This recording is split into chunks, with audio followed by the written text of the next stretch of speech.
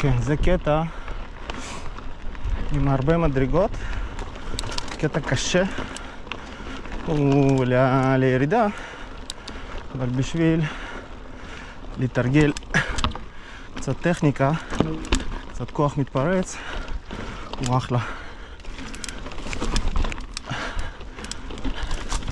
אחר כך נעשה אותו בירידה.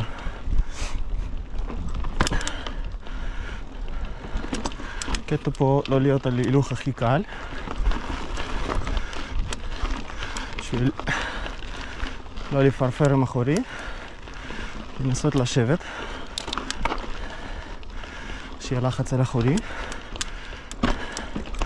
ופה מדרגה שאני תמיד מתקשה איתה, אפשר מימין, אבל אני רוצה ישר.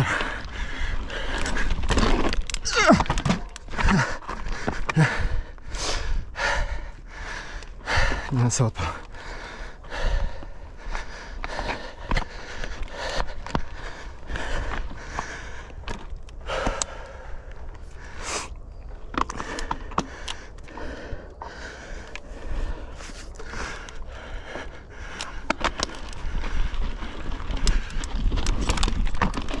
לא.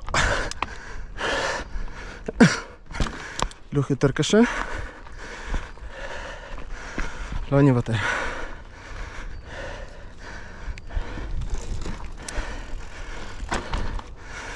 אחת שלוש.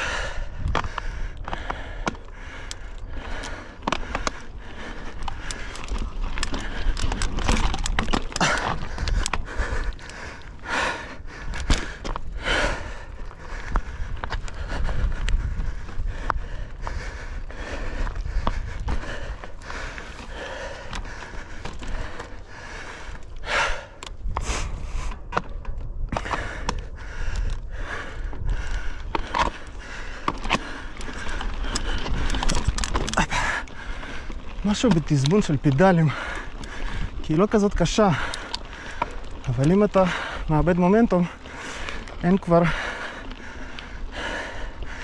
אינרציה להעלות את המדרגה.